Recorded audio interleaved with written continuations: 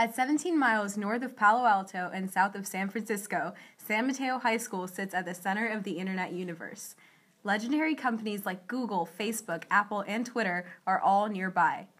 But there's trouble in Silicon Valley, where only 12% of software engineers are women. Meet two high schoolers who are hoping to change that. Hello, I'm Anna Zhang. I'm Catherine Arca and we're the co-founders of the Interactive Coding Club. The pair hopes to recode the current programmer culture with a club that's welcoming to more than just a male population. When we were freshmen, Anna and I were really excited to join the programming club in our school. But when we went to the first meeting, we discovered that we were surrounded by around 30 boys in the club, and we just felt really intimidated. So they started a club where beginners can come and work on programming. Club members meet at lunch once a week to work on multiple projects like creating websites, games, and other apps. Um, I made a project that was just a bunch of animated circles that expanded every second. And so if I want to make the speed of the circles um, or the radiuses increase faster, I'll just change the x.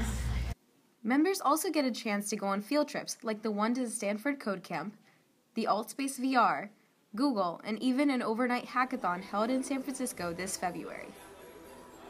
Some obstacles that girls face entering this world include inexperience and fear of failure.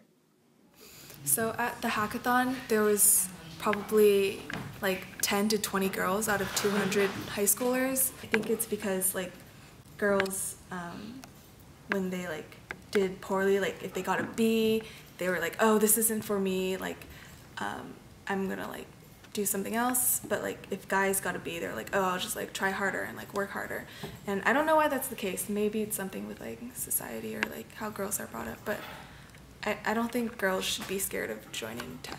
I think coding has a lot of power because it is super interdisciplinary and it um, it's applied to primarily every field and job and being able to program is a very marketable and useful skill that a lot of employers would want in the future.